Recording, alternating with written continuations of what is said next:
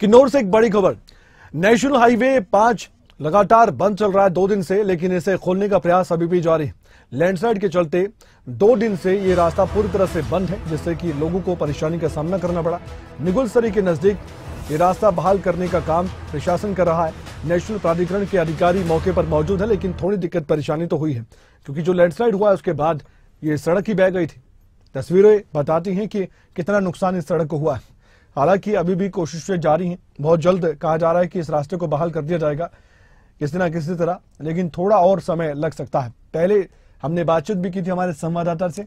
उनने, उन्होंने अपनी ओर से बताया भी था कि 48 घंटे से ज़्यादा का वक्त लगेगा और ठीक वही बात देखने को मिल रही है। सुरेंद्र हमारे साथ अपडेट के लिए जुड़ चुके हैं। और सुरेंद्र, आपसे मेरी बातचीत हुई कल। आपने कहा भी था कि दो दिन से ज़्यादा का वक्त लग सकता है। वही देखने को मिल रहा है। फ़िलहाल का अपडेट आप देंगे, कब तक ये रास्ता बहाल हो सकता है, कोई जानकारी प्रशासन की ओर से दी जा रही है या फिर बहुत चुनौतियाँ हैं अभी? जी कमल बिल्कुल। जो राष्ट्रीय उच्च मार्ग पाँच है इसे खोलना अभी जो है प्रशासन के लिए चुनौती बना हुआ है। okay. जबकि जो है मौके पर जो है राजस्व एवं बागवानी मंत्री जगत सिंह नेगी खुद मौके पर खुद है और जो है पूरे कार्यों को जो है जायजा ले रहे हैं। अभी तक जो है लगभग जो है ये 370 मीटर टोटल जो है लैंडस्लाइड हुआ था। इसमें से 200 मीटर सड़क मार्ग खोलने में जो है कामयाबी हासिल कर ली है एनएच प्राधिकरण और पीडब्ल्यूडी द्वारा। और इस समय जो है वहाँ पर जो है एनएच और पीडब्ल्यूडी के जो है अधिशासी अभियंता, कनिष्ठ अभियंता सभी जो है मौके पर मौजूद है और मशीनों के माध्यम से इसको खोलने की पूरी कोशिश की जा रही है।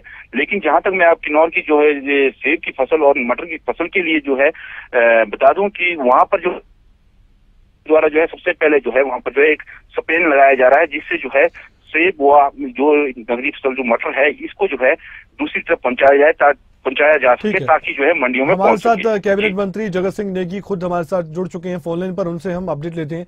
जगत सिंह नेगी साहब अच्छी बात है कि आप खुद मौके पर जा रहे हैं और देख रहे हैं। दिक्कत परेशानी लोगों को हो रही है लेकिन आप हमारे ज़रिए बता सकते हैं।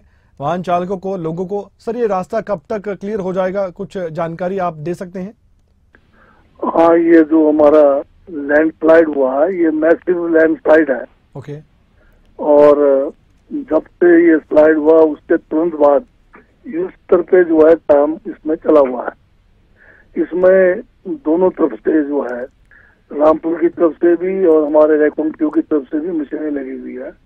और रात को 12-12 बजे तक एक एक बजे तक इसमें काम चला हुआ है। और पूरी कोशिश की जा रही है किसी तरह से इसको रेस्टोर किया जाए।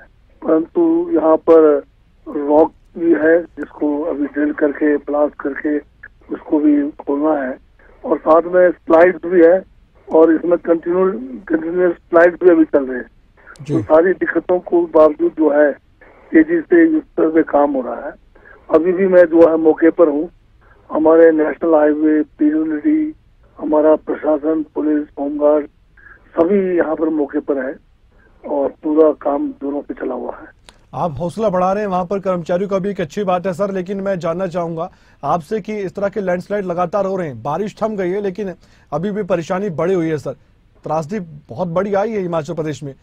ऐसे कैसे उभरा जाएगा? एक चुनौती आपके सामने प्रदेश की सरकार के सामने सर।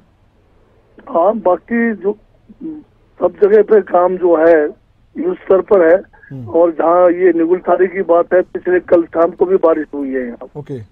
इसके बावजूद हम जो है यहाँ पर वैकल्पिक कोई तरीका भी देख हैं जैसे रजू मार्ग के द्वारा हम्म। जो है सेब को जो है दूसरी सड़क पे पहुँचाने के लिए उसके लिए भी हम युद्ध स्तर पे काम कर रहे हैं ताकि रज्जू मार्ग भी बन जाए और ये सड़क का काम भी तेज़ी से चला हुआ है।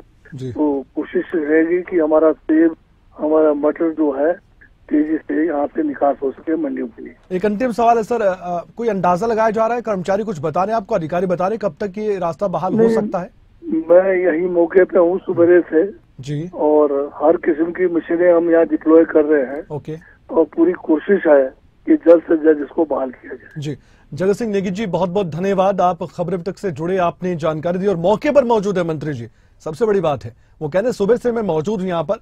जिस भी मशीन की ज़रूरत है वो बुलाई गई है और जल्द से जल्द ये रास्ता बहाल कर दिया जाएगा क्योंकि ये नेशनल हाईवे है। लोगों को दिक्कतों का सामना तो करना पड़ता है। सुरेंद्र आप जुड़े हमारे साथ? जी।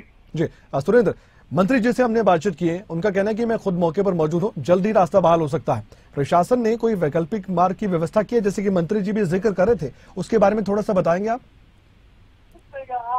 जी।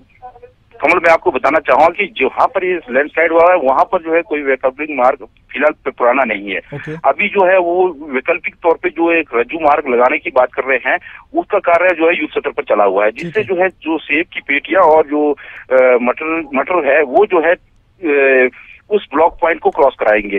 ताकि जो है सेब और जो मटर है वो जो है लोगों की फ़सल जो है नुकसान ना हो इस वजह से जो है वो मंडियों में टाइम से पहुँच सके। जी। धन्यवाद। सुरेंद्र, आप नज़र बनाए रखेगा जो भी अपडेट हो, खबरें अभी तक तक पहुंचाइए ताकि हम दर्शकों तक ये जानकारी दे सके। धन्यवाद।